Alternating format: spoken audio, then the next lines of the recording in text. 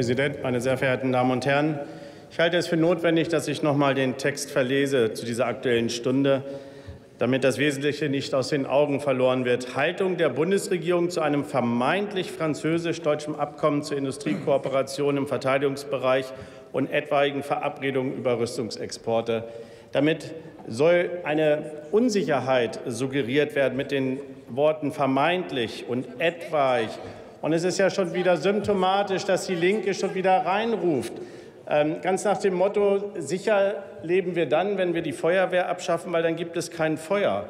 Ähm, das ist eine Argumentation, hier zu sagen, die Rüstungspolitik wird, ähm, wird in ein Licht gebracht. Ich will mal ganz deutlich zum Ausdruck bringen, wir haben uns dafür entschieden, die Peschmerga auszustatten mit Ausrüstungsmitteln, damit sie sich erwehren können einem Angriff. Wir hätten Sie Regierungsverantwortung gehabt, wären die Menschen allesamt verstorben an der Grausamkeit des IS, meine Damen und Herren. Wir haben geholfen, und das schafft Frieden, meine Damen und Herren. Ich will euch noch einmal in den Mittelpunkt stellen, worum es denn geht. Es geht um Gemeinsamkeit, um Kooperation. Der deutsch-französische Ministerrat hat schon im Juli 2017 sich darauf verständigt, eine Koordinierung und Kooperation anzustreben. Und es ist ja nicht so, dass hier keine Transparenz herrschen würde, sonst würden wir das alles ja gar nicht im Deutschen Bundestag debattieren können. Das machen wir aber gerade, und das ist auch richtig und das ist wichtig. Aber noch wichtiger ist, dass wir feststellen, dass sich die sicherheitspolitische Lage enorm verändert hat, leider verschlechtert hat.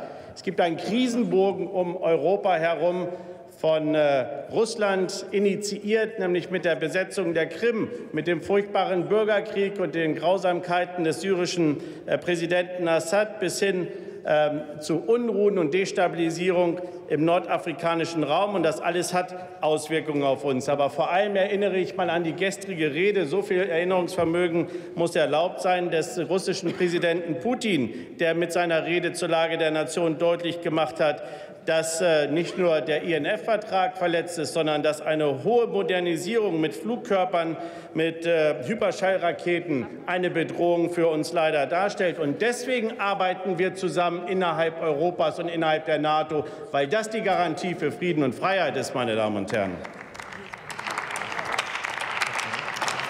Wir streben eine gemeinsame europäische Sicherheitspolitik an mit einem stärkeren europäischen Pfeiler in dem transatlantischen Bündnis, weil wir gemeinsam nämlich agieren wollen. Das sind doch die Lehren auch der furchtbaren Krisen und Kriege, dass wir nicht national arbeiten, sondern dass wir gemeinsam kooperieren.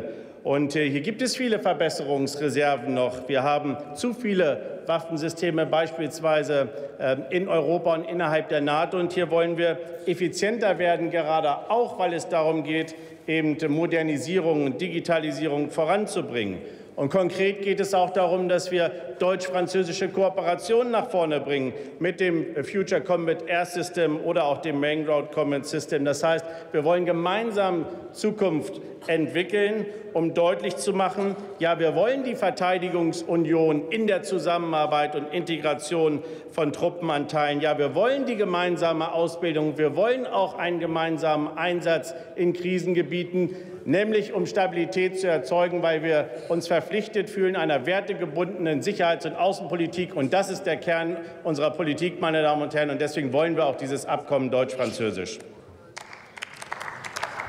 Für uns ist klar, dass der Rüstungsexport auch sicherheitspolitisch begründet sein muss. Und deswegen erinnere ich noch einmal, dass die Grundlage ist, das äh, rot-grüne Abkommen von 2002, das nach wie vor gilt und dass jede Rüstungsexportentscheidung hier im Deutschen Bundestag unmittelbar bekannt zu geben ist. Wir sagen aber auch, es gibt Schlüsseltechnologien, die müssen wir halten in unserem Land. Und äh, damit wir auch eine Souveränität uns erhalten. Aber es geht auch darum, dass eben mit dem Stichwort German Free Deutschland nicht rausgelassen wird aus gemeinsamen Projekten. Und deswegen fordern wir eine Harmonisierung der Exportrichtlinien mit Europa zusammen. Meine Damen und Herren, wir leben in schwierigen Zeiten Und deswegen suchen wir die Kooperation, die Gemeinsamkeiten, um Frieden und Freiheit in Europa zu stärken, in Deutschland uns zu stärken, damit wir auch unseren Kindern zukünftig sagen können, wir haben alles daran getan,